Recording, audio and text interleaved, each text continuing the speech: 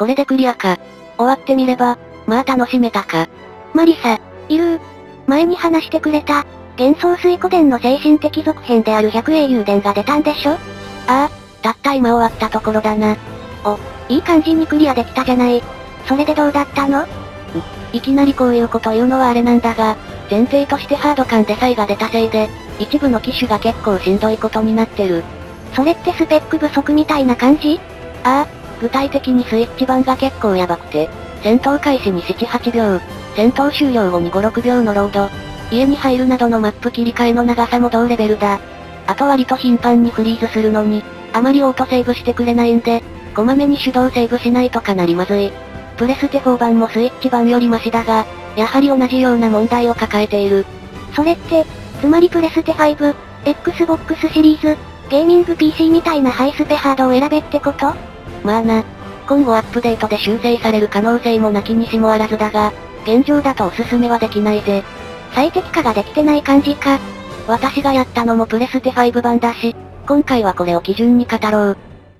では、2024年4月に、プレステ5、プレステ4、Xbox シリーズ、Xbox One、スイッチ、スチームで発売した、百英雄伝、だ。舞台となるのは、多くの価値観、文化を持つ国が集まる場所、オールラーン大陸だ。そして、物語は辺境の村に住む、主人公の少年ノアが、外の世界を見たいと武者修行に飛び出し、グリュム白領にある、何でも矢の傭兵集団に該当する、警備隊に身を寄せるところから始まる。配属された隊には、一番の古株でリーダーとして皆をまとめる、獣人のガオウ。自分も二日前に入ったばかりだというのに、やたら先輩風を吹かす、テンション高めの少女、ビャン。剣を極めるために旅を続けているという、東方出身のクールな女侍、ミオ、といったメンツが揃っていた。そのまま入隊早々、初任務に赴くことになったノアは、彼らと共にガルディア帝国士官との共同作戦に当たることになる。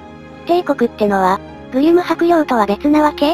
ああ、グリュム白領は、複数の国からなる諸国連合に所属している。一国のみで強大な力を持つ帝国と、諸国連合はかつては対立していたが、近年では融和が進み、親善のための共同任務なども増えているわけだ。ちなみに警備隊は傭兵とはいえ、グリム家の当主である少女、ペリエールの紙幣なので、それなりの立場が与えられているぜ。なるほど。獣人なんかが普通にいるファンタジー世界だけど、国家間の対立が軸になりそうなのは元帥っぽいわね。そして、合流場所に現れたのは、帝国の名門貴族出身である少年生と、その副官である女、ヒルディだった。任務の内容は、とある森の奥にあるとされている、ルーンの遺跡の正確な位置の確定だ。ルーン？ああ、それはだな。まず、この世界には魔導レンズというアイテムが存在し、魔術の使用や神との交信などの超常的なことをやる際に、触媒に使われる。その魔導レンズが発掘される、正体不明の建造物がルーンの遺跡だ。元帥の紋章が魔導レンズって設定になったって感じか。そのまま探索に赴くことになる一行。最初は互いの立場の違いから、微妙な距離感のままギクシャクとしたやりとりが続くが、モンスターを蹴散らし、森を進むうちに次第に打ち解けていく。そして、ついに一行は目的だったルーンの遺跡を見つけ、内部へと侵入する。そこで彼らが見たのは、原初の魔導レンズ、と呼ばれる、ひときわ大きな力を持つレンズだった。見えてはいるが、そこにたどり着くまでのルートが断絶しているレンズを回収するために、一行は横道から遺跡の奥へと進む。だが、行き止まりにぶち当たってしまったところで、運悪く地響きとともに床が崩壊し、ノアとセイの二人は地下へと転落してしまう。崩落によって道は閉ざされ、元の場所に戻ることもできない。仕方なく二人は仲間たちの助けを待つことにし、焚き火の前で、互いに自身のことを語り合う。少しずつだが信頼が生まれたことで、聖は最近帝国内部の状況がきな臭くなっていることを、ぼそりと漏らす。皇帝を差し置いて、国内を牛耳るオルドリック公爵という男が、様々な手段を用いて、大量のレンズを回収しており、今回の任務も、彼の差し金によるものだという。これは戦争が始まる予兆かもしれない。そして、いざ始まれば名門貴族の跡取りとして、戦いに赴かなければならない。そう話す聖の決意を聞いて、自分なりの答えを話そうとするのはだったが、そこで道を塞いでいた瓦礫の一部が崩れる。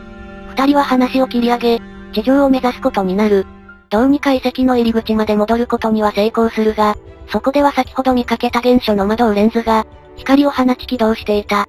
そして、それを守るかのごとく巨大なゴーレムが出現し、二人に襲いかかる。奮戦するのは都政だったが、さすがに二人だけで戦うには厳しく、次第に追い詰められていく。もはや打つ手なしと判断した二人は、自分が時間を稼ぐので逃げろと、互いに言い合うが、間一発、はぐれていた仲間たちが合流してきたことで難を逃れ、ゴーレムを撃破することに成功する。そして、原初の窓をレンズを回収した彼らは、この発見が諸国連合と帝国の友情の架け橋になることを願い、別れることになる。お、とりあえずはいい感じに終わったみたいじゃない。ああ、だがそこから半年の時間が流れた頃、聖が話していたように、世界には不穏な空気が漂うことになる。オルドリック公爵は、所有問題で揺れていた軽装置を、大金を払って買い上げるという怪しい動きを見せ、研究のために帝国に運ばれた原初の窓をレンズも、その後、諸国連合側には一切の報告が届くことがなかった。さらには国境付近には正体不明の族が現れ、周辺の村を無差別に襲うようになる。そして、警備隊の任務の一環として、族を捕らえようとするノアは、目撃情報から自身の故郷の村へと、仲間たちと赴くことになる。一方でその頃、グリュム博であるペリエールのもとには、帝国の人間が現れ、族の正体はお前のところの警備隊のメンバーだなどと言い出し、領民の安全保障上の理由から、帝国軍をグリュム博領に駐留させたことを告げる。ええさすがにそれは、進行するためのでっち上げなのが見え見えというか。ああ、そして、故郷の村にたどり着いたのはだったが、休む間もなく、怪しいフードの男たちが現れ、火矢を放ち、村を炎上させることになる。あっという間に村を包む炎に、仕方なしに一行は脱出を目指すが、矢次に現れるフードの男たちに苦戦を強いられる。そして、そんな中、彼らに手を差し伸べる帝国士官の男がいた。味方なのか罠なのか逡巡するのはだったが、結局は信用することにし、彼の言う脱出ルートを抜けることになる。たどり着いた先には、他の村人たちがみんな避難しており、バレンタインと名乗るその士官は、なんと聖の部下だった。やがて、その場には聖自身も現れ、久々の再会を喜び合う二人だったが、状況の不穏さは増しており、聖は、次に会う時は戦場かもしれないと言い残し、ひとまず帝国に戻ることになる。そのままノアたちも警備隊本部に帰還することになるが、事態はさらに悪化し、帝国側は今さっき起きた村の炎上事件も、警備隊のメンバーの仕業だと主張し、犯人の引き渡しを求めて、グリュム白領の村を占拠してしまう。でっち上げとはいえ、盗賊の捕獲を理由に軍を侵攻させるなんて、むちゃくちゃするわね。いずれ、本格的な戦いが来ることを予見したペリエールは、他の諸国連合に援軍要請を送るが、利害関係の対立や日和見が蔓延したことで、早急な応援は望めなかった。とはいえ、すでに単独でしばらくの間しのげる程度の準備は済ませていたため、グリュム白領は籠城戦を展開することになる。そして、ついには帝国軍は最初の侵攻を開始する。帝国に故郷の村を焼かれた少年が、反抗のために立ち上がるというプロパガンダを展開するために、ペリエールの手によって、一軍を任されることになったのは、そして、帝国の士官として従軍することになったせいそれぞれが将として戦場に立ち、両軍は激突することになる。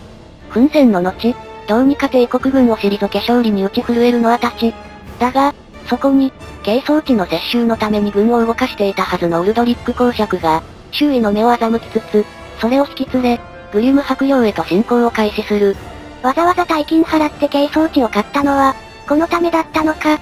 先の戦いで疲弊した上に、圧倒的な数の公爵軍に勝てる算段はなく、ペリエールは町を捨てての撤退を決意。プロパガンダを徹底するために、ノアに対し、逃げ延びることに成功した残党を集めて抵抗軍を組織し、彼にリーダーになるように言いつけると、自身は時間稼ぎのためにおとりとして、真っ向から町に踏み込んできた公爵と対峙することになる。そして、廃山兵たちをまとめ上げ、なんとか町の出口へと抜けるのはたちだったが、そこへ現れたのはヒルディやバレンタインを引き連れたせいだった。悪いようにはしないので、投降しろと呼びかけるせいだったが、当然のアは譲れない理由があるとしかない。それぞれの信念のために一騎打ちとなり、激突する二人。戦いは続き、最後の最後で打ち勝ったのはせいだったが、住んでのところで仲間たちが駆けつけたことで、ノアは窮地を脱することになる。そのままどうにか逃げ延びることに成功したノアたちは、ペリエールの残した言葉に従い、盗賊捜査の際に見つけた古い施設を利用し、ここに抵抗軍を立ち上げることを宣言。こうして、ノアたちの帝国に対する本格的な戦いが始まることになるぜ。なるほど。そういう話か。結構、減衰してるわね。元いた場所から追い出されることになった主人公が、紆余曲折の後、本拠地を手に入れ、反乱軍を組織するところとか。まあな。その後の展開も基本は、軍を大きくするために、様々な中立勢力と渡りをつけ同盟を結んだり、腰が重い他の諸国連合のケツを引っ叩いて協力させたりしつつ、その合間、合間に大規模な戦争イベントが起こり、帝国軍が侵攻してくるので、撃退することになるなど、やっぱり減衰だしな。減衰が好きなら楽しめるってわけね。ん？ただな、減衰2みたいなのを求めるとパンチが足りないとこがあるけどな。え、そうなの？全体的に話が平坦なんだよな。減衰特有の主人公がいきなりしんどい立場に追いやられたり、大切な友を失ってしまうみたいなハードな展開もないし、不利だったはずの戦争が、軍師の神采配で逆転するようなカタルシスも薄い。そういえば主人公も故郷の村を焼かれたりしてるけど、住人はみんな無事なのよね。抵抗軍のリーダーになったのも頼まれただけだし、絶対的にやらなきゃいけないみたいな強い理由もないのよね。まあ、テキストのノリそのものや、話の構成は間違いなく初期減衰を強く彷彿させるような作りなんで、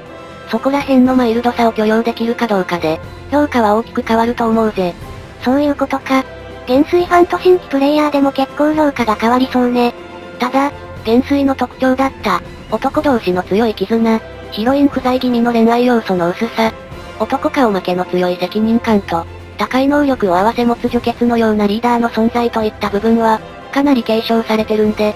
作風自体はマイルドになったものの、そういう部分がツボなら、結構いけると思うぜ。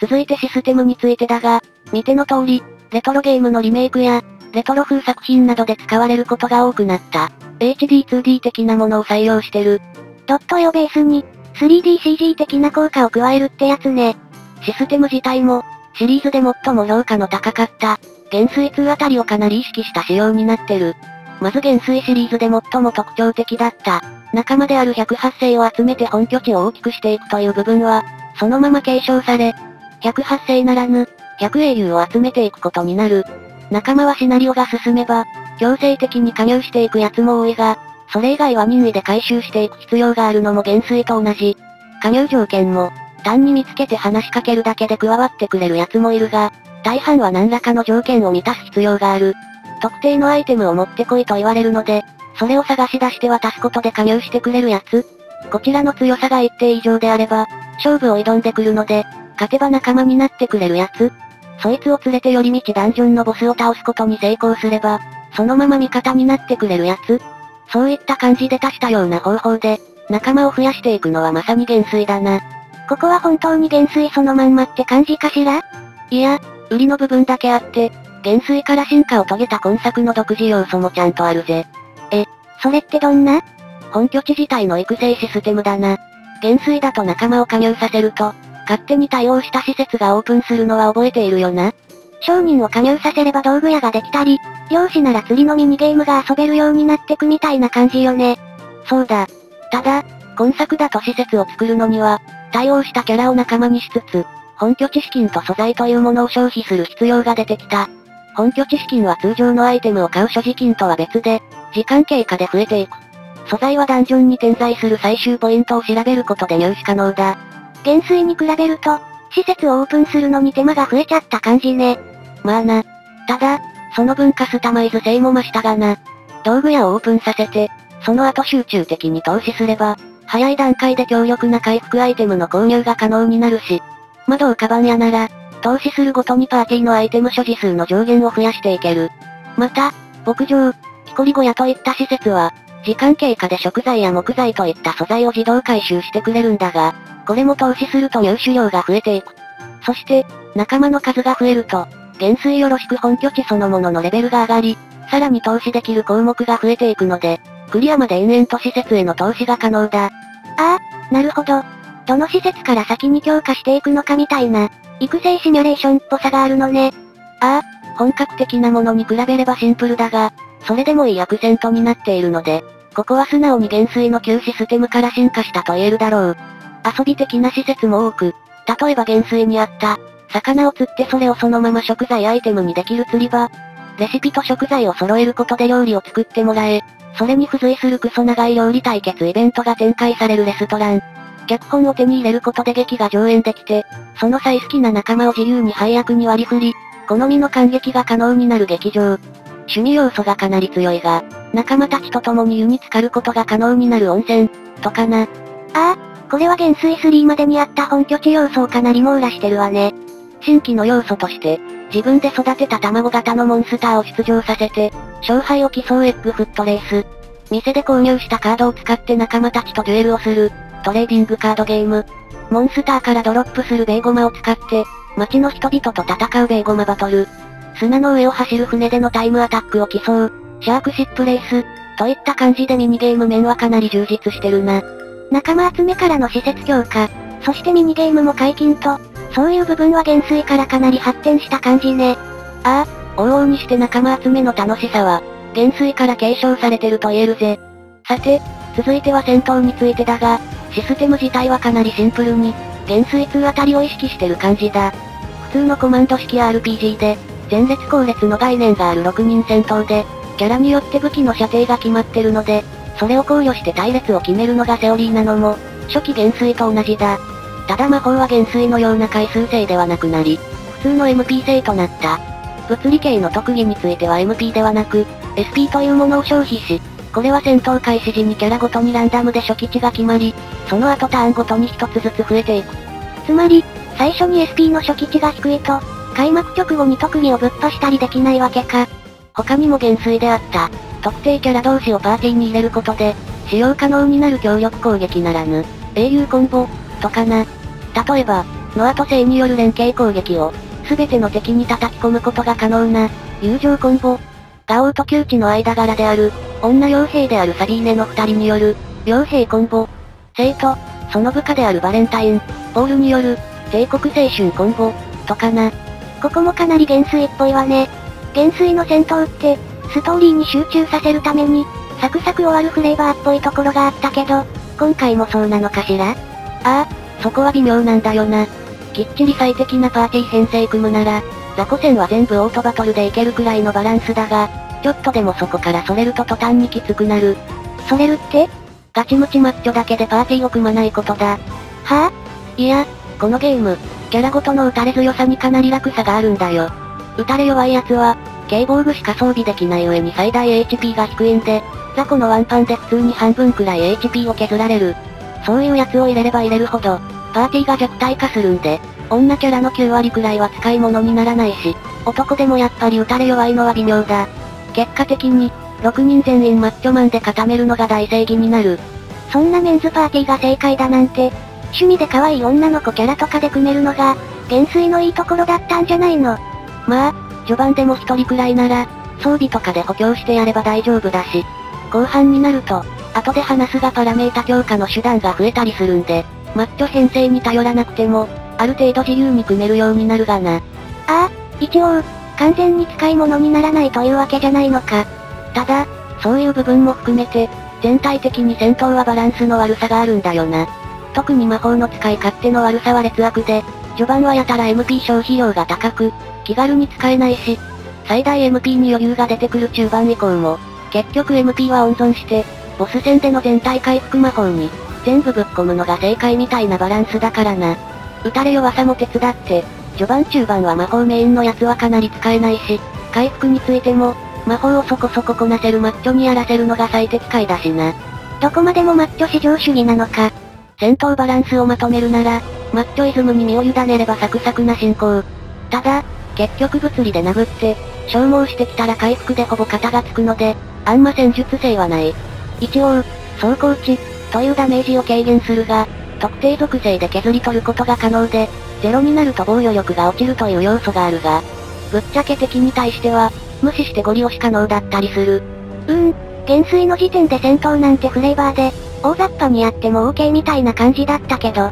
今作だとマッチョ思想を具現化しないと、変に難易度が上がっちゃう感じか。この辺は好みが分かれるかもな。情報なしだと、早い段階でマッチョ主義に気づかないと、ほんと難易度がしんどくなる。さて続いては育成システムについてだが、今作では魔導レンズによる強化システムを採用している。これはキャラごとに、携帯の違う魔導レンズを所持しているという設定で、はめ込み箇所にルーンというアイテムを装着することで、様々な恩恵を得られる。例えば主人公のノアなら、7つの装着箇所があるが、初期状態だと解放されてるのは1つだけで、ここは、スウィングスラッシュ、という特技を使うルーンで固定されている。固定って、それだとカスタマイズ性はゼロなわけか。ああ、だがレベルが10になれば、2個目の装着箇所が解放されて、ここはステータス枠なので、力強化、防御強化、などのルーンを任意で1つ選んで装着できる。20になると3つ目が解放だが、ここも、チェーンスマッシュ、という特技の固定枠だ。30で4つ目で、ここは完全自由枠なんでステータス強化は元より、特定属性の魔法を使うルーン、特定の特技が使用可能になるルーン、などを任意で埋め込める。なるほど。そうやって強化してくわけか。打たれ弱いキャラでもなんとかなるってのは、そのルーンでパラメータを強化しろってことか。ああ、後半は他にも、パラメータを大きく強化できるアクセサリーアイテムの併用もできるからな。ここもシンプルだった減衰の紋章システムから、ちょっとカスタマイズの幅が広がった感じか。魔法がもうちょいちゃんと機能してるなら、もっと選択の幅があっただろうし、ここも惜しいんだよな。ああ、そうか。今のバランスだと回復魔法しか使わないんだものね。さて、最後は減衰でも恒例だった戦争イベントについて語ろう。毎回シミュレーションよりな、大規模戦争があるのがお約束だったのよね。今作の戦闘はマス目に分かれたマップで、軍団となったユニットの移動先をフェーズごとに決め、戦闘を開始すると敵味方が同時に動き出す。そんで敵味方が接触した場合、戦闘を開始し、消耗が激しくなった側が、後方に一時撤退するまでの間、自動で殴り合うことになる。また、仲間を揃えるほどこちら側が強化され、キャラによっては、一旦自分を強化などの特殊技能を持っていて、行動開始前に使うことができる。全体的にはフレーバー的な感じが強く、普通に仲間を集めてゲーム内で言われるアドバイス通りにやれば、そうそう負けることはない。減衰もナンバリングによってはフレーバー全開だったし、ここは規定路線か。総括するなら、テキストや空気感、戦闘システムのベースについては、紛れもなく初期減衰を体現した作品。仲間集めと本拠地強化については、ある程度進化した上で減衰時代の楽しさを再現している。ただ全体的にマイルドになって、起伏のなくなったシナリオをどう見るか、最適解を取るか取らないかで、大きく難易度が変わる荒い戦闘は、やはりバランスが良くない、という感じだ。あと、ゲームそのものが、現代的なブラッシュアップを入れつつも、プレステ時代の RPG を再現することに傾いてるので、新機軸とか革新的なものを求めるときついかもな。発売までにバグが取り切れず、リアルタイムで順次パッチを配信していくという手際の悪さや、それに伴う、クラファンのバッカーへの対応などといったごたごたも多かったし、色々と手放しに褒められる出来にはならなかったが、それでも、あの頃の古き良き RPG を思い出させる作品としては、悪くなかったと思うぜ。なるほど。じゃあ私も、あれから減衰のナンバリングは前作やったんだし、このまま百英雄伝の方をやってみようかしらね。そうだな。実プレイしてぜひともお前なりの答えを出してくれ。では今回はここまで。それでは、私はルーンに祝福された、ラッキーガール。よろしければグッドボタン、チャンネル登録などしていただけたら大変励みになります。Twitter もやっていますので、そちらのフォローもぜひお願いします。